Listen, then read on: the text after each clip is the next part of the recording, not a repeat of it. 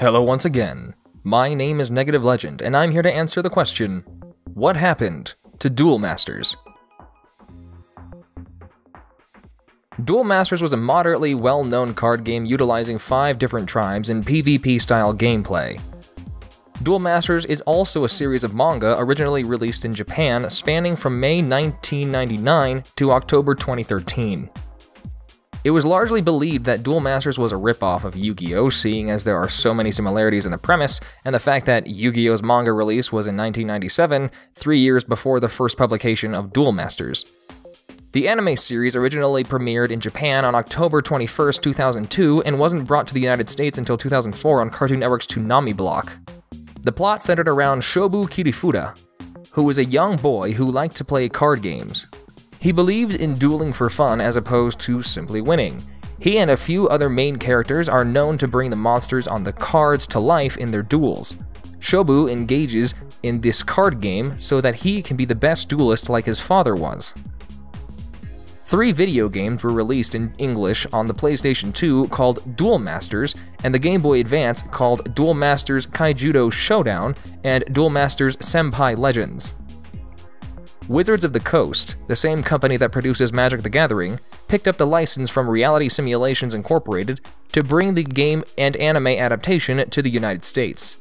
The English language printing of the TCG ran from DM 01 base set on May 5, 2004, until DM 12 Thrash of the Hybrid Mega Creatures in November 2006. From an outside perspective, it is believed that Hasbro instructed Wizards of the Coast to purchase the license in order to compete with the rise of Japanese children's trading card games, in order to rival the increasingly popular Yu-Gi-Oh! After giving it a good attempt, Wizards of the Coast realized that they couldn't compete with the popularity of Yu-Gi-Oh! and decided to discontinue localizing the cards and anime in 2006 after the 12th expansion.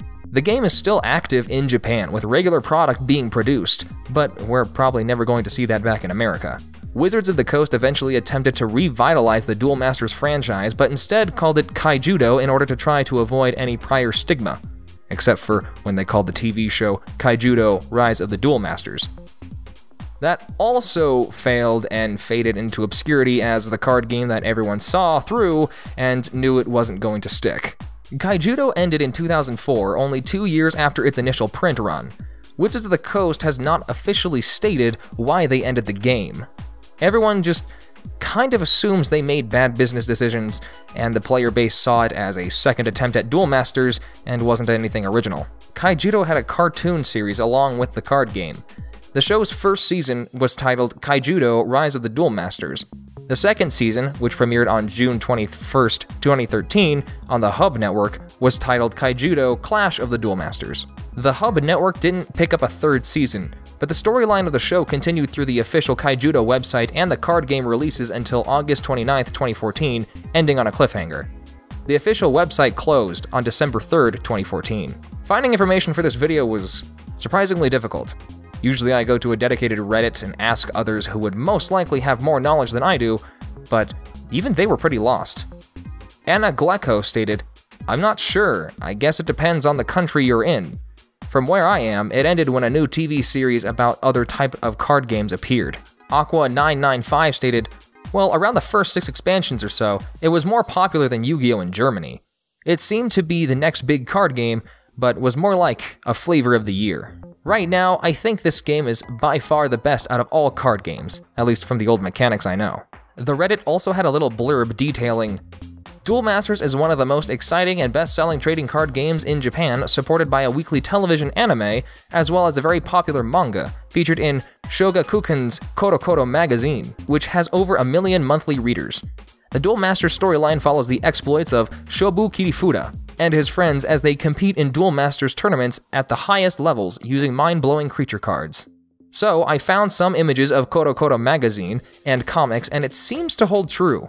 There's an article from the Anime News Network released in February of 2017 showing an announcement for a new protagonist and animated series for Duel Masters. The article states, The Duel Masters staff revealed information on the next installments in the manga and anime franchise at an event on Friday. The new manga will begin in the next issue of Shogakukan's CoroCoro Comics on February 15th, and the new anime will premiere in April. Both will simply be titled Duel Masters. The cards for the game has seen radical changes since its American release. Now the company has favored utilizing the entire card for the artwork with overlaid text, a very common trend among Japanese card games nowadays. I managed to find a Discord server from duelmasters.org where a group of dedicated players still converse about the game. They call themselves Duel Masters Reborn, and when asked about this subject, this is what they had to say. Enigma Fiend stated, Well, the fall of Duel Masters in the United States is still on conflicting reasons. The best possibility was the general decline of the anime, though most claim it to be Bombazar. He was merely the turning point. Duel Masters was majorly failing in the US, as it had no proper set of restrictions and had less rules compared to the OCG in Japan. This led to many overpowered decks being made that were impossible to counter, and many good cards became unusable. Every deck aimed at a 3 to 5 turn kill. I guess that caused people to lose interest due to a lack of creative choices. In my opinion, the OCG is, and was, better with better rule enforcement and is the reason Duel Masters is still alive in Japan today. Zero Vash stated, it's more or less generic, and anyone can contribute why it ended.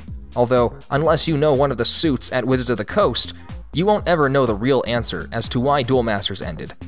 I think, at the time, they said not enough sales, but that can also mean not enough interest, not enough sales margins, not the correct target audience, it's stealing from Magic the Gathering's consumer base instead of cementing the new one. ELTP stated, Nobody knows the real reason outside of Wizards of the Coast.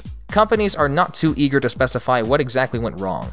It might be just that they stopped hitting their sale milestones, not making enough profit for the shareholders. Promotion has also clearly been problematic for them. Decreased sales must be the reason.